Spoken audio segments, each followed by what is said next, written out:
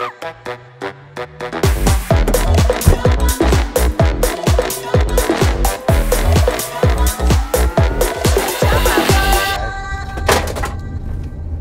the camera's just fallen over. that, kiss it like that, making it. Hello, I'm Peter Vaughan, and today I'm back at the Caravan and Motorhome Club site at Clumber Park near Worksop with this, the Rolling Homes Darwin.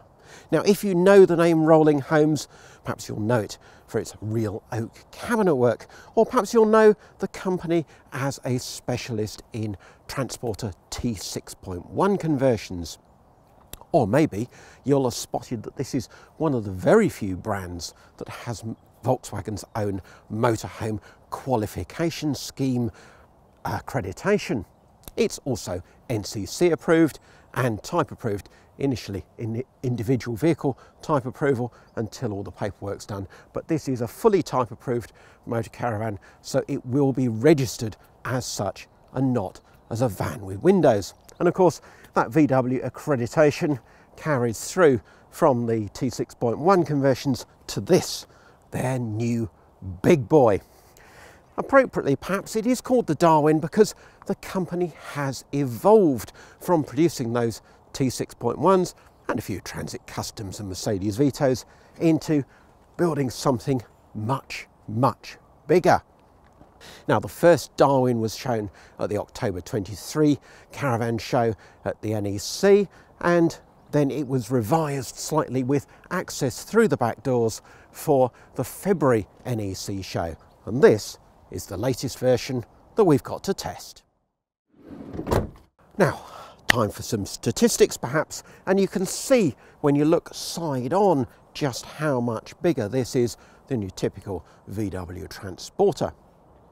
6.84 metres long, 2.70, 2.7 metres high, and 2.04 metres wide. Price starts at £99,995. Let's call it 100 grand in round figures. But that's for the 102 horsepower manual gearbox version. This one has the 177 horsepower engine and the 8 speed torque converter automatic gearbox. Now that alone pushes the price up by £8,892. Then there's the, met the metallic paint, that's another £1,464. Well, VW always did know how to charge for its extras. The total cost of this vehicle comes to £123,347. And no, no, don't switch off because that, these days, is a typical price for a big crafter MAN or Mercedes Sprinter based, one of the premium vans, in other words, uh, used for panel van conversions. If you take one of those premium vans of this size, turn it into a camper van, that's the sort of price you're going to be looking at. In fact, the Autosleeper M-Star that I tested not so long ago, that's similar money, £125,000. Right, let's take a look then at some more details around the outside. And then this vehicle has the executive pack £3,995 worth. And that gives you the cab air conditioning, the multifunction steering wheel, parking sensors front and rear, the reversing camera, automatic headlights, the front fog and cornering lights, and a heated windscreen. And then there's the alloy wheels, 16 inch alloy wheels, they're £900. And the final external feature that isn't standard is the 155 watt solar panel on the roof. That is a further 890 pounds. Now, if we look down this offside of the vehicle, apart from the Darwin branding up front, well, there's very little. It's very plain, but I quite like that. If you like uh, camping off grid, being a bit unostentatious, whatever the word is, then this will appeal and you've got quality fittings like these framed habitation windows. Your freshwater filler is here.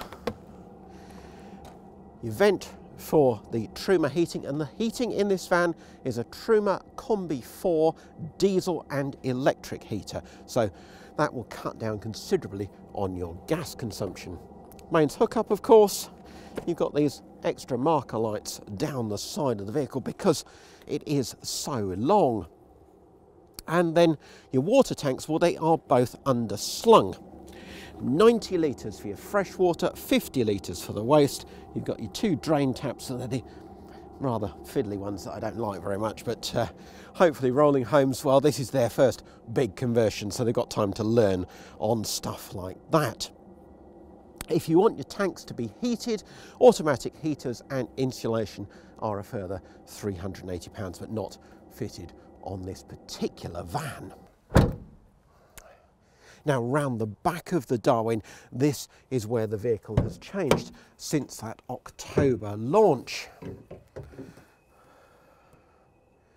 The doors will swing right the way around if you wish.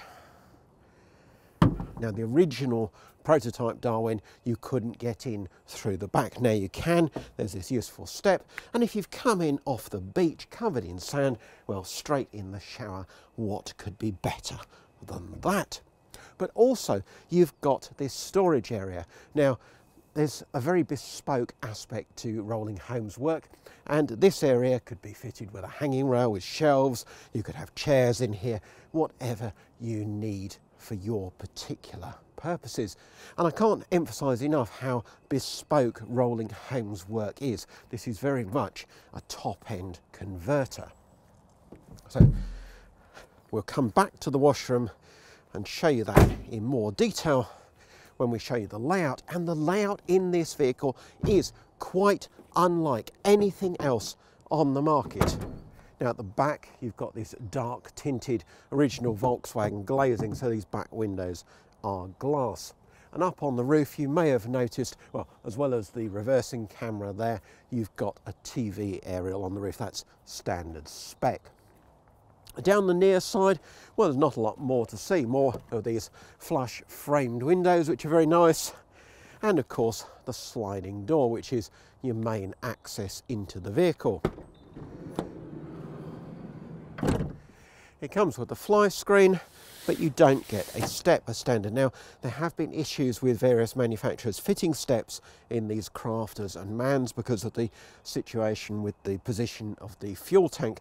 But Rolling Homes do list one as an option and it's £500 if you want an electric step. Without it, well, it's okay for me, but some less mobile people might struggle. So, the layout. Well, this gives it away a bit, doesn't it? Because you've seen the washroom at the back, and here, obviously, is the kitchen. So this isn't a front lounge layout, it's a mid lounge layout. Now I'm going to spend some time getting to know this van, eating in it, sleeping in it, washing in it, and tomorrow I'll tell you what I think of this very unusual design. So, day two with the Rolling Homes Darwin, and now I've really got to know this van and I have to say, really rather like it. But let's not predict the verdict because there's lots more to show you. Now this, apart from anything else, is a three and a half ton two berth van. There's no rear travel seats, no extra berths, and a payload of 380 kilos. Now most vans of this size are on heavier chassis because the base vehicles are really quite uh, heavy in themselves, it's quite difficult to get these vehicles uh, drivable on a standard car license. But if that's what you want, this is one that you can drive on that standard UK car license. It also comes with a three-year warranty because this is a very high quality product.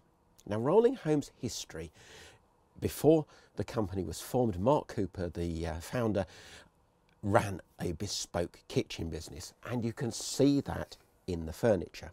You can, you can have your Rolling Homes Darwin with the typical campervan style furniture board, but I have no idea why you would, because this European oak furniture made by Rolling Homes in their own workshops is quite stunning. It's a five grand option, but worth every penny. now at last it's time to show you around this van. Starting of course with the swivel cab seats. Well, they turn easiest if you just open the doors a fraction because otherwise they tend to scrape along the door panels. But not difficult to swivel the seats and then you have got this secondary seating area up front because as you'll see later on if you've got the double bed made up well if one of you wants then to get up it's somewhere for you to sit pity there isn't a coffee table here um, but apart from that a nice addition and plenty of choices of upholstery if you don't like this blue scheme the standard is leather and cloth mix and it's real leather and it's beautifully finished. Like everything else in this van, it is exceptionally well trimmed. And then, well, you'll notice that it isn't, as is typical these days, a full height walk through into the cab. It's not, it's not a, a stoop because you can almost walk through, but you have got this little shelved area up here, and then your control panels. Now, this control panel is a touch screen, it's very easy to use, shows you your wastewater tank, your fresh water, uh, times, battery condition, all sorts. Now I have just discovered a very useful thing because last night I found this display much too bright. When I wanted dark in the van, it was very bright, but you can turn it up and down, and I've only just discovered that. So that is a great little feature. Also shows you battery conditions and so on. And then alongside that, you've got your controls for your diesel and electric Truma combi boiler. boilers. 4 kilowatt one, and that lives under one of the sofas, as we'll see. Because you've got diesel heating, you have only a very small uh, gas locker down here at the bottom of the kitchen unit, just inside the sliding door, and that holds one Campingaz to a, a 2.75 kilogram cylinder. But now let's have a proper look at the kitchen, and well, as I said earlier, it is beautifully finished. You get these Corian worktops, this real oak furniture, and it is, I think, quite stunning. And then, well, as far as appliances are concerned, the microwave, if you want it, that is a £650 option. You don't have to have a microwave if you're not going to be hooked up. Uh, if you're going to be wild camping and uh, off-grid a lot of the time, probably wouldn't bother. But if you do want mains appliances, well, you've got a main socket there, another one at the end of the kitchen unit here, uh, one down on the floor over there as well. And I think you've got, yeah, you've got USB sockets at the end of the kitchen unit too. The hob is quite interesting because it's a combined uh, induction and gas one. So two gas rings and an induction ring, best of both worlds, and that is so much more efficient than those old-fashioned hot plates that you get on some of those big built-in cookers that you see in coach-built motorhomes. You do as standard get a gas oven and grill combined unit, the usual Thetford duplex that we've seen many, many, many times before. And then the fridge is a 84 litres, um, but a convenient height, very easy to access. And being a compressor one, it's very tilt tolerant and you can just switch it on, adjust how cold you want it to be, and then forget all about it. Underneath that, I thought it was going to be a wardrobe, but that's actually useful shelved space. Although this being a rolling homes and every vehicle built to your spec, of course, you could have that with a hanging rail if you wanted. Plenty of drawer space, both underneath the oven here. One drawer and then one little flap down there. Now this unit here, this locker here, that looks if it should have a hanging rail in it, but it's missing in this particular vehicle. But uh, no shelves in there. Again, you could spec that how you want it. And then you've got three drawers on this side all nice soft clothes everything does feel very swish and a large cupboard alongside the sink has got this uh, flush fitting Corian top and then underneath it's a, an under under mounted sink and plenty of worktop here too it's it's a good kitchen spaces. You've got plenty of room to prepare. You've got your fridge at a nice eye level. You've got a microwave if you need it. I can't think of anything really they could have done better. Well, actually maybe I will just nitpick on a couple of little details because that cutlery drawer, well, I would like some proper cutlery holders in there. And when I'm walking about in socked feet, up here, the floor is nice and warm. Down this end, well, it's noticeable that the heater outlets are at each end of the lounge and, of course, in the washroom. There isn't one at this end of the van, so it does feel that much colder, particularly on the floor. It was very, very cold last night. Particularly the floor does feel quite chilly to my tootsies. but this is the bit that makes the Darwin so different. You've got these long settees, sort of almost in the middle of the van, because this is your washroom, of course, at the back. And, well, it's a nice space to just sit with your back against the wall and relax. You haven't got that very open feeling. You're not going to sit and look out through wide open back doors or, or a wide open sliding door because of course, the, uh, the lounge is in the centre of the vehicle. But you have still got big opening windows on either side, and it has a feel more like a coach-built motorhome, I think. More, perhaps, cosy. If you don't want that sort of goldfish bowl feeling, it is a nice space to sit and relax.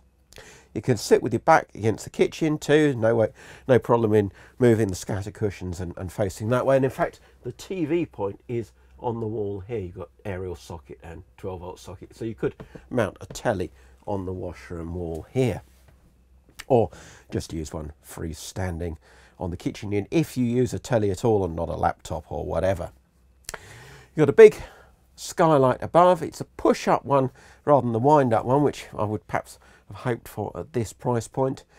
You've got lots and lots of lighting. I've got it all turned on here for the maximum effect, but you've got these strip lights, mood lights, down lights, everything in the ceiling, more strip lights under these top lockers, reading lights in all four corners of the lounge, and of course this floor level lighting as well. They couldn't really have done any more.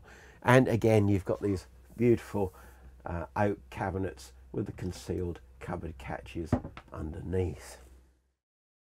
And then when it's time to dine, well, the table stores behind the driver's seat. It's a freestanding table, so you can use it inside or outside, of course.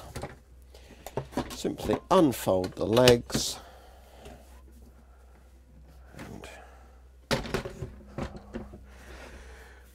Nice and sturdy.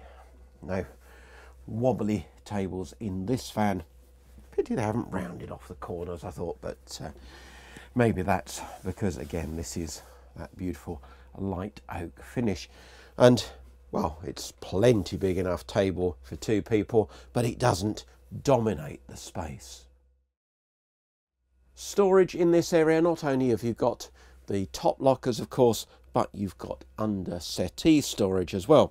On the near side, you've got these useful drop front doors two of them, which give easy access into the space. Now, my bedding, well, I've got two single duvets and two pillows, and they take up roughly half of that near side settee base. Over on this side, things are a little different. You haven't got the drop front doors, so you will need to lift off the cushions. Now, it's worth noting that these settee bases, they're vented, but they're not hinged. So you lift them off to access the space.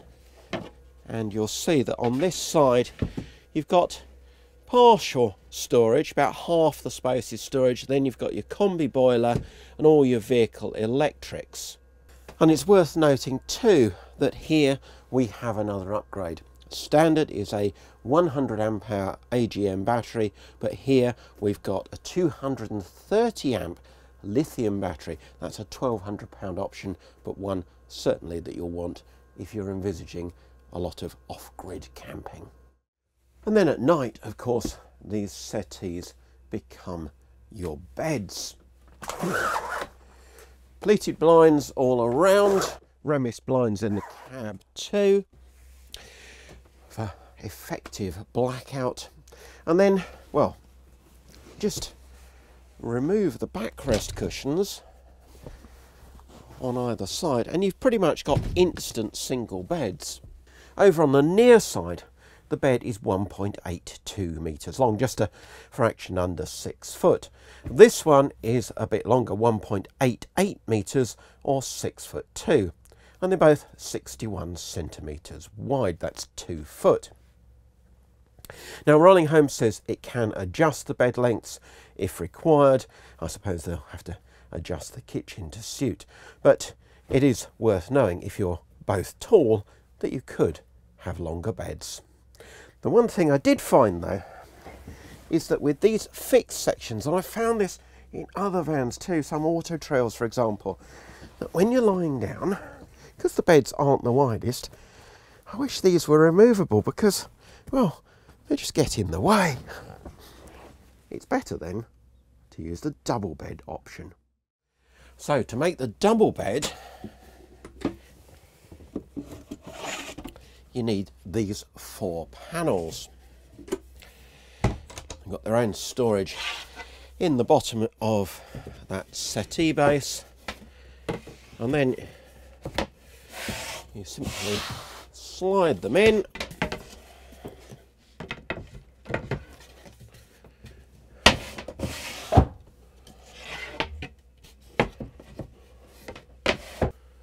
and then of course the backrest cushions from the settees.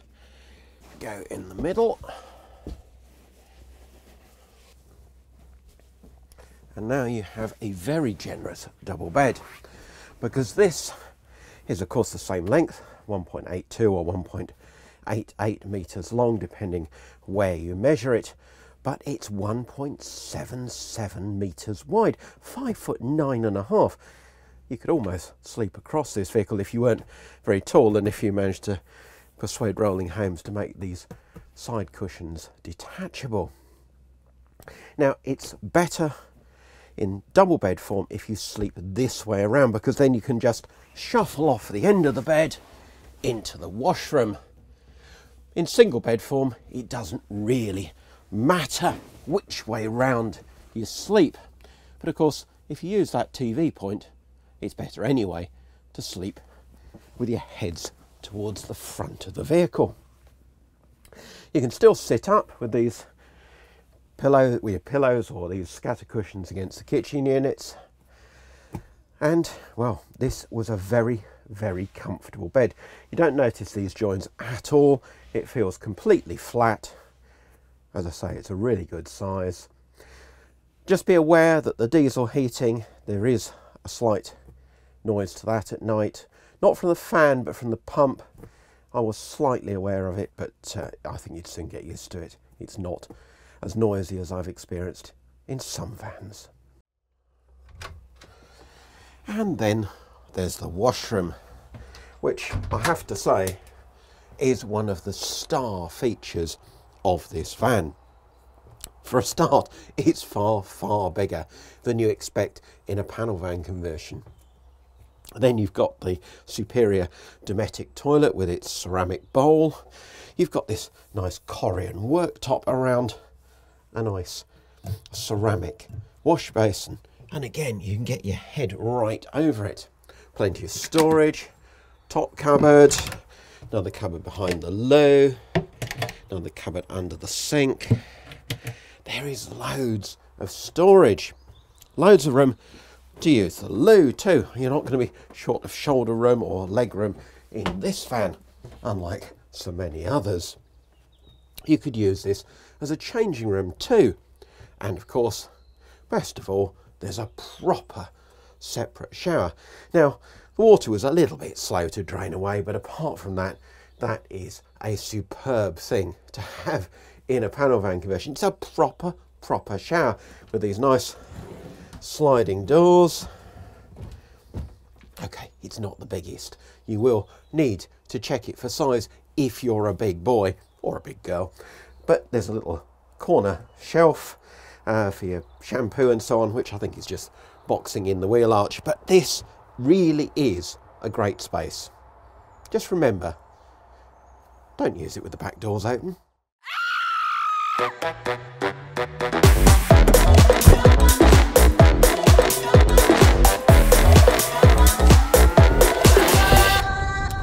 So, driving this Darwin. Well, the first thing to note is the cab seats, and I find them very, very comfortable. You've got electric adjustment for the lumbar support, you've got tilting on the squab, you've got these twin armrests, nicely leather trimmed. It does feel a very comfortable place for a long journey. Course, the automatic gearbox, 8 speed, it's a torque converter gearbox, not the twin, twin clutch DSG like you get um, in the T6.1s. And it's, it's very smooth, it just makes driving very easy and effortless. You've got this 177 horsepower engine too, which obviously makes light work of what isn't a huge vehicle really.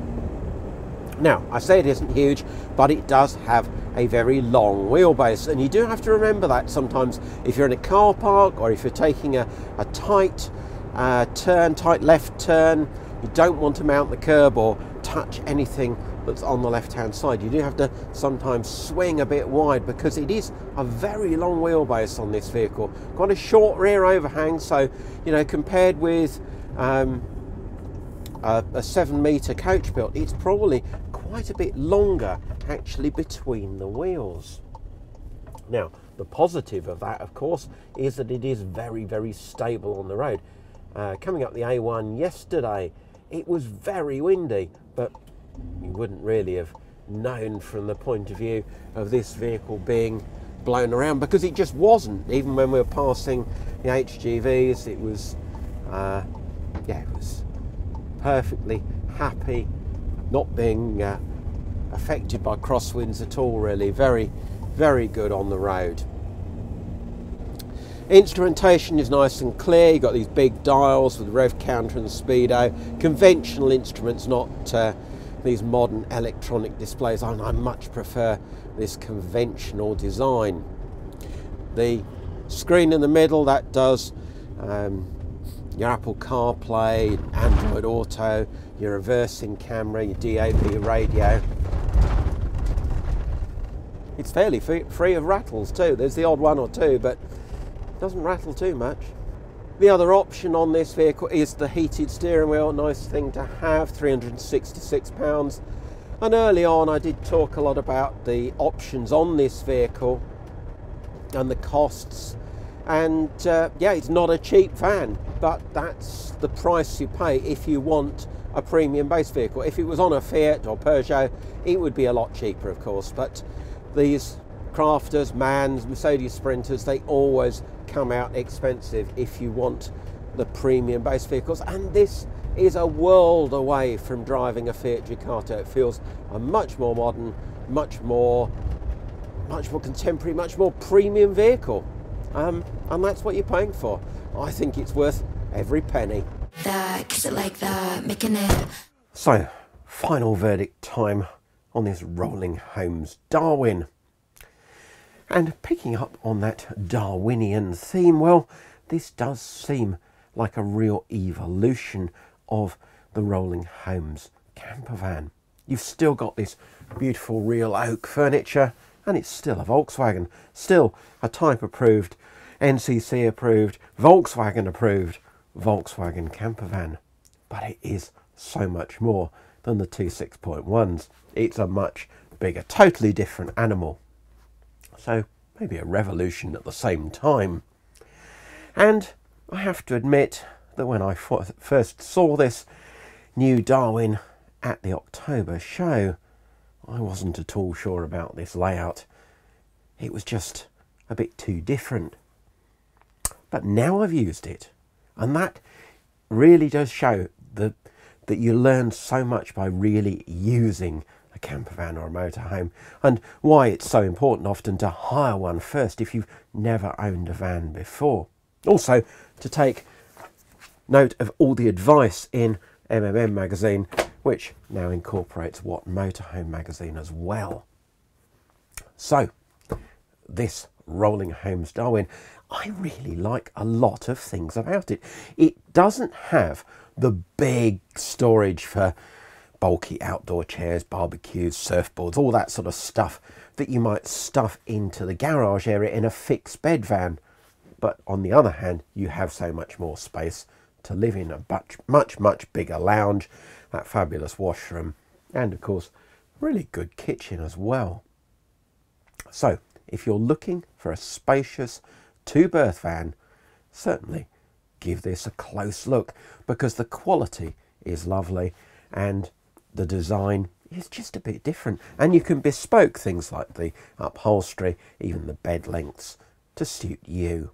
And I think, even though I know we're going to get comments about the price, I think this is a really cracking new van. Thanks for watching. Please don't forget to like and to subscribe to the channel.